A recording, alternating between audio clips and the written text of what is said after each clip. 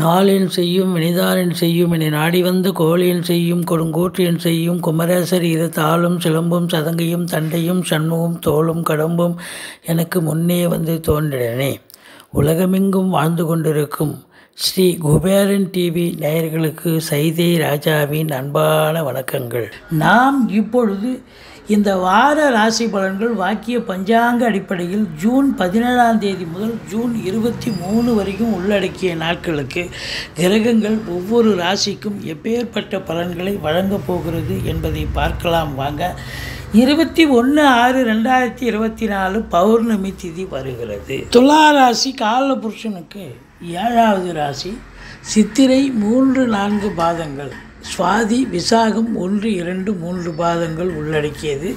சுக்கர பகவான் ஆட்சி பெறும் வீடு இப்பொழுது சுக்கர பகவான் ஒன்பதாம் இடமான மிதுனத்தில் இருக்கிறார். உங்களை பொறுத்தவரையும் இந்த துலா ராசிக்கு இந்த வார கிரகங்கள் எப்பேற்பட்ட பலனை வழங்கும்? சுமாராக இருக்குமா? இல்லை சூப்பராக இருக்குமா? அப்படின்னு பார்த்தீங்கன்னா இது நாள் வரைக்கும் ஏழாம் இடத்துல இருந்து வந்த குரு பகவான் எட்டாம் இடத்துக்கு போயிடுச்சுங்க. அதனால் சுமாராக தான் இருக்கும் அப்படின்னு நீங்கள் நினைப்பீங்க. அதுதான் இல்லை. நிச்சயமாக நல்லாவே இருக்கும். ஏன் அப்படின்னு சொன்னால் உங்களை பொறுத்தவரையிலையும் ரெண்டாம் இடத்தை குடும்பஸ்தானத்தை குரு பார்க்கிறார். குடும்பத்தில் இருந்து வந்த சண்டை சச்சரவு பிரச்சனைகள்லாம் விலகி சகஜ நிலைக்கு மாறக்கூடிய ஒரு நிலை குடும்பத்தில் சுப நிகழ்ச்சிகள் நடத்தக்கூடிய ஒரு அமைப்பு வெளியார் சுப நிகழ்ச்சிகளுக்கு செல்லக்கூடிய ஒரு அமைப்பும் இருக்கும். வாக்கினை தொழிலாக கொண்டு செயல்படக்கூடிய இந்த துலா ராசி அன்பர்கள் நிச்சயமாக ஜெயிக்கக்கூடிய ஒரு வாரம் அப்படின்னு சொல்லலாம். உதாரணமாக வழக்கறிஞர்கள் ஆசிரியர்கள் பேராசிரியர்கள் இலக்கியவாதிகள் சொற்பொழிவாளர்கள் ஜோதிட அறிஞர்கள் இவங்க எல்லோரும் பார்த்திங்கன்னா இது நாள் வரைக்கும் எங்கேப்பா இருந்தீங்க? அப்படின்னு சொல்கிற அளவுக்கு உங்களுடைய திறமைகள் வெளிப்பாடாகும் அப்படின்னு சொல்லலாம். முதல்ல குடும்பத்தில் கணவன் மனைவி ஒற்றுமை அப்படின்னு சொல்லக்கூடிய ஒரு நிலை. இது ஒரு பெரிய விஷயம் இல்லைங்களா?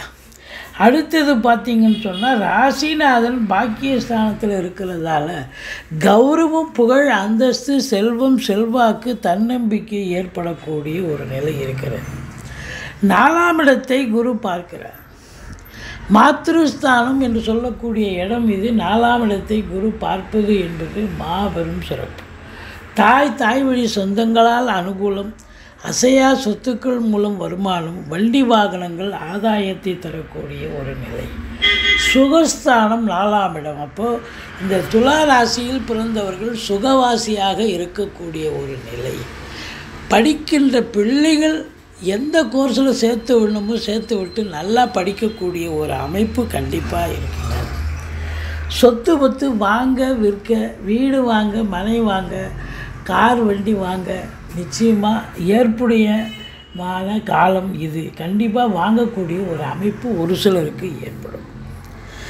அஞ்சாம் இடத்துல சனி பகவான் இருக்கிறார். இவர் வக்ரகதியில் இருக்கிறதால அதிகபட்சமாக பத்தொன்பதாம் தேதியே வக்ரகதி வந்துடுறாரு. அப்போது உங்களை பொறுத்த வரலையும் பார்த்தீங்கன்னா இவர் அஞ்சாம் இடத்தில் இருக்கக்கூடிய சனி பகவான் இப்போ நாளில் இருப்பார். தாய்க்கு தேக ஆரோக்கிய குறைவு ஏற்படும். கொஞ்சம் எச்சரிக்கையாக இருங்க. உங்கள் சுகஸ்தானத்துலேயும் கொஞ்சம் பிரச்சனை வரும். எச்சரிக்கை தேவை. வண்டி வாகனங்கள் செலவு வைக்கும் எச்சரிக்கை தேவை.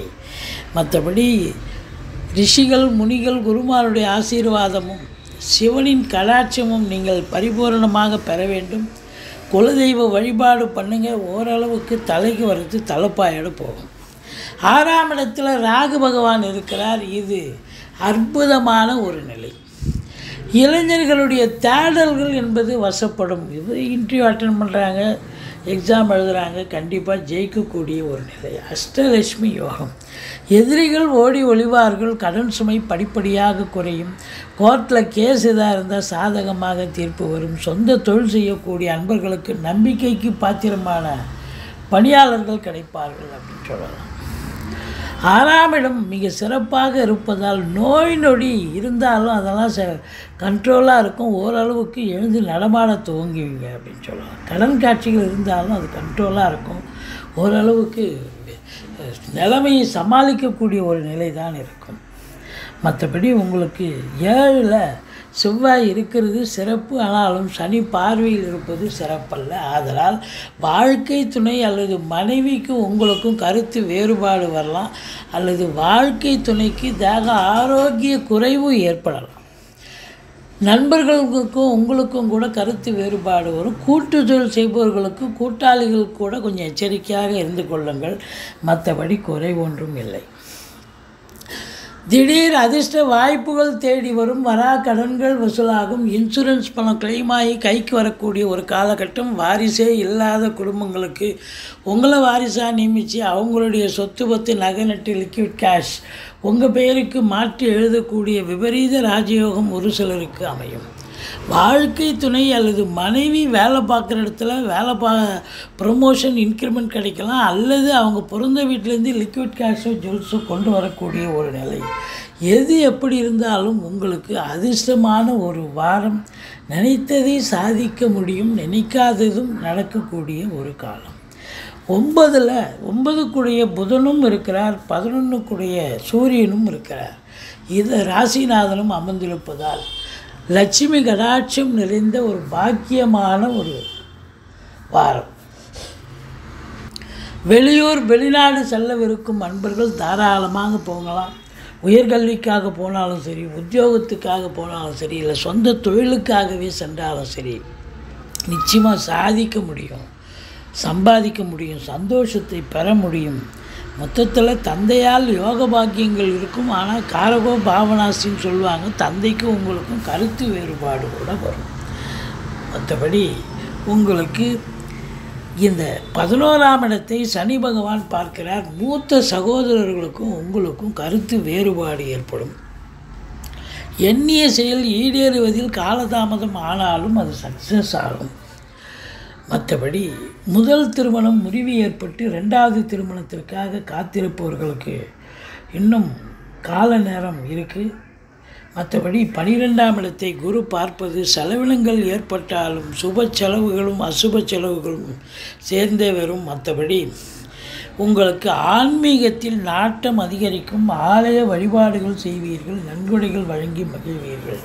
மொத்தத்தில் பார்க்கும் பொழுது இந்த துலா ராசி அன்பர்களுக்கு குடும்பத்தில் அமைதி நிம்மதி நல்ல பண வரவு பொருள் வரவு அப்போ பண வரவு இருந்தால் நாலாம் இடம் வீடு வாங்க மனம் வாங்க கார் வண்டி வாங்க இதெல்லாம் பிள்ளைகளை கல்விக்காக செலவு செய்ய நிச்சயமாக இருக்கும் இல்லையா? மொத்தத்தில் இந்த வாரம் ஒரு சந்தோஷமான ஒரு நல்ல மன நிறைவை தரக்கூடிய ஒரு வாரம். நீங்கள் வணங்க வேண்டிய தெய்வம் முருகப்பெருமானை வணங்குங்கள்.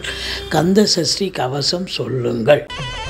ஸ்ரீ குபேரன் டிவியை பார்த்தமைக்கு நன்றிகள். மேலும் இது போன்ற தகவல்களை தெரிந்து கொள்ள ஸ்ரீ குபேரன் டிவியை சப்ஸ்கிரைப் செய்யுங்கள். மறக்காமல் பெல் ஐக்கானை கிளிக் செய்யுங்கள்.